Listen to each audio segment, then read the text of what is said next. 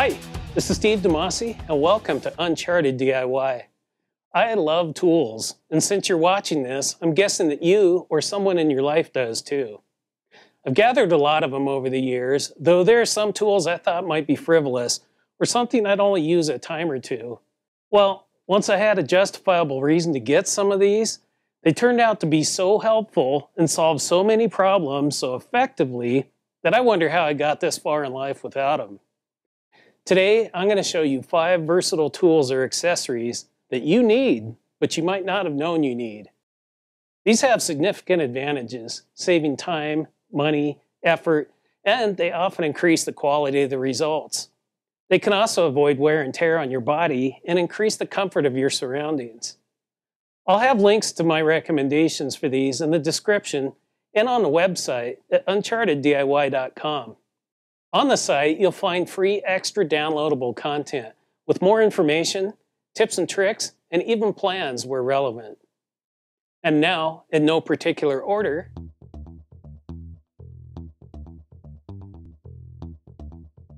I can't think of a power tool that has more uses than a rotary tool, often referred to by the brand name Dremel. These handy tools are used for cutting, sanding, carving, jewelry making, etching, cleaning and polishing, and grinding and sharpening, just to name a few of the many jobs it's capable of. One add-on I have found to be essential is the flex shaft, and that's what this segment is all about. Dremel tools are generally pretty light, and the cordless options are getting better every day. But even the smaller tools are a bit bulky for hand holding while doing detailed precision work.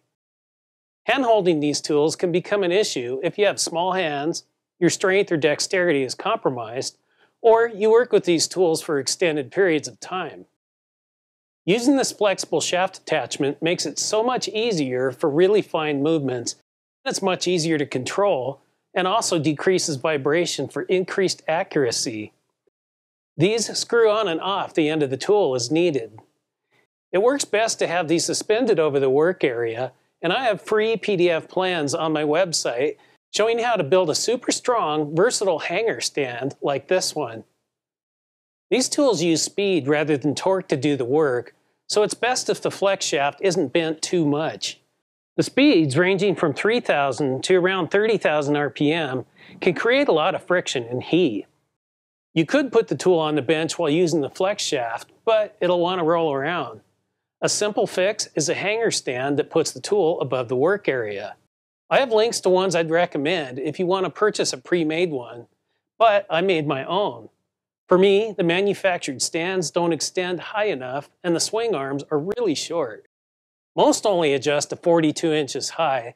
This one extends to 52 inches, providing extra clearance for taller projects. Most prefabs only measure 3 to 10 inches for the swing arm, but this one extends 28 inches, covering a much larger portion of your work area.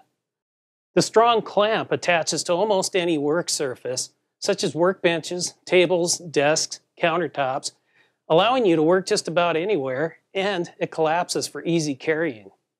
For about $25 and a half hour and really basic tools, you too can build this sturdy, great looking stand. You can download free PDF plans on my website with a visual parts list and step by step photos to make this a fun and easy DIY project.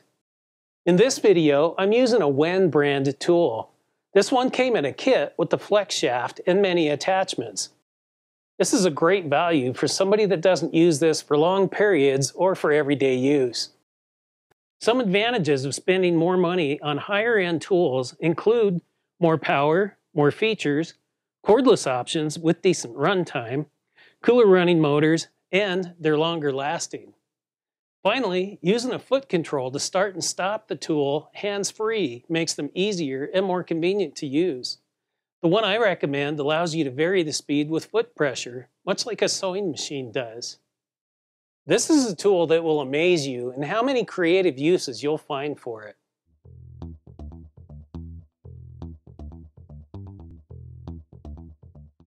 Oscillating multi-tool rivals the Dremel in its vast array of functions.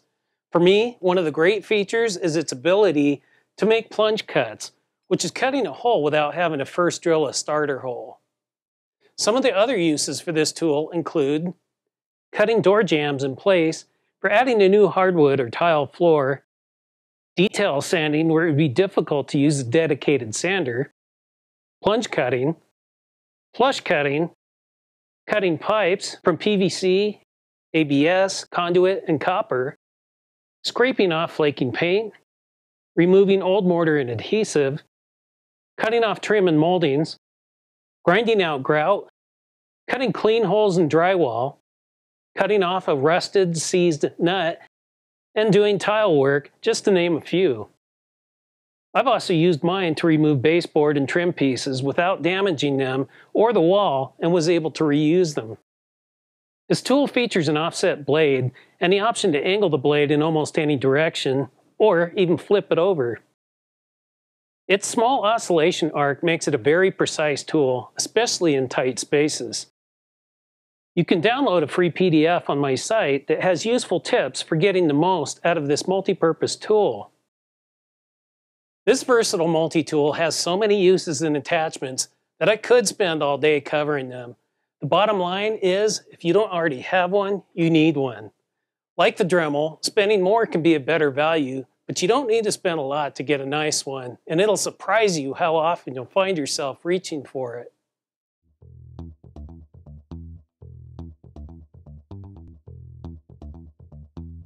Thermal cameras have been around for a long time, but it's only in the last few years that the cost of this amazing technology has come down enough to put it in the hands of everyday people. It's like adding a completely new sense to the ones we were born with. You might recognize infrared thermal vision from the movie Predator, but it has many more uses than chasing Arnold Schwarzenegger through the jungle. You'll often hear infrared thermal cameras referred to as FLIR cameras for forward-looking infrared. The type I'm talking about today are the smartphone-based cameras rather than the expensive dedicated units. Not to be confused with night vision, which amplifies available visible ambient light to make it possible to see in almost complete darkness. Infrared cameras sense the heat being emitted by all people, objects, and materials. They work in daylight and total darkness and can see through smoke, haze, fog, and even certain types of objects to measure and display differences in temperature. You might be thinking, why would I need one of these cameras? Here's a sampling of things I've used mine for. Checking my walls for insulation gaps, seeing where the heating ducts run in the house and finding any leaks or hot spots, checking for windows leaking heated or cooled air, identifying gasket issues in freezers and fridges, determining which cylinder was misfiring on a motorcycle, the source of an antifreeze leak in a car radiator, figuring out which battery is the one I was just using versus the fully charged one, looking for cool spots in drywall indicating possible water damage leading to mold, determining if a disc brake is dragging, causing the wheel to heat up, and making sure your child's bathwater is mixed evenly. Other things that are interesting, if not that useful. Looking for ghosts, like they do on all the ghost hunting shows. Watching a skunk eating a peanut on the patio. Seeing heat from handprints on surfaces and butt prints left on furniture. Finding the coldest beer. Writing invisible messages with heat. Deciding, is the sound outside your tent a raccoon, a bear, or Bigfoot? Making sure the heated toilet seat is working before sitting down, avoiding thermal shock. I have a FLIR One brand smartphone camera from FLIR Systems, though mine is a generation older now. That's why there's a USB converter on mine. The new ones tuck right up to the base of the phone. There are other brands, and the new generation cameras have some refinements and features. The big deciding factor for me choosing the FLIR One over others is the technology they call MSX, which combines a normal vision camera overlaid with the infrared images to bring out details that make it much easier to interpret and understand what you're seeing on the screen. These shoot both video and still images. I chose the basic model, but they also come in more advanced versions that have more resolution and added features. For my use, the base model does everything I've asked it to do. Check to see if the upgrades would be helpful to you if you buy one. I am amazed at how often I use this little device. It saved me time and money, made life more comfortable, made complex tasks easy, and it's a lot of fun. If you're a homeowner, a DIYer, or just want to add a new way to sense the world around you, you'll love finding useful and fun ways to use one. On uncharteddiy.com, you'll find a free PDF with more information and tips and tricks about using these amazing devices.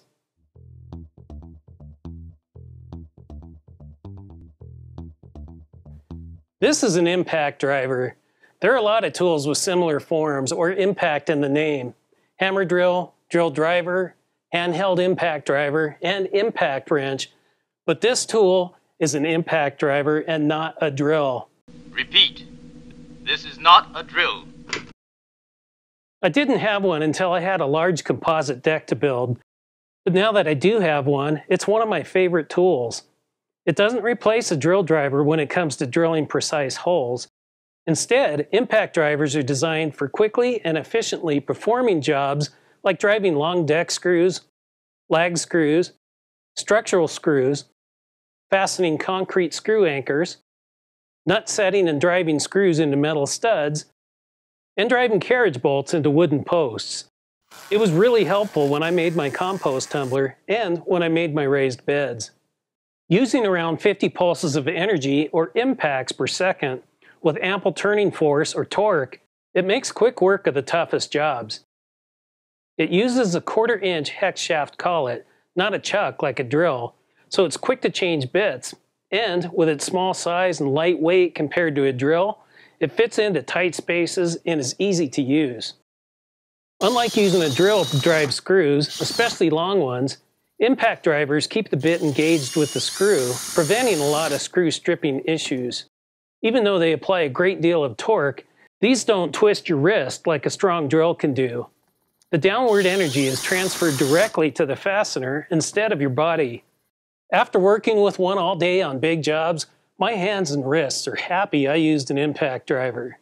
Like all tools, there are various prices and feature sets.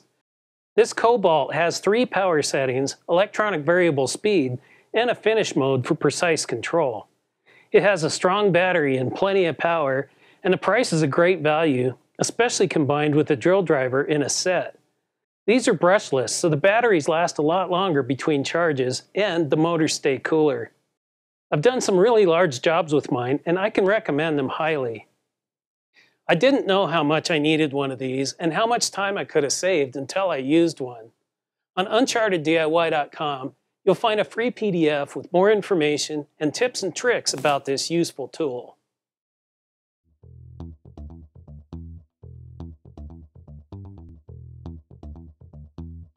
Digital calipers only do one thing, and they're not the most glamorous of tools, but they sure make measuring small things that are otherwise tough to measure accurate and easy. Imagine the difficulty of trying to measure something like this with any degree of exactitude. These eliminate the need to eyeball your measurements. These have three universal systems of measurement, decimal inches, fractions, and millimeters. It's an equally practical choice for both professionals and for do-it-yourself projects, and it adds accuracy down to a thousandth of an inch.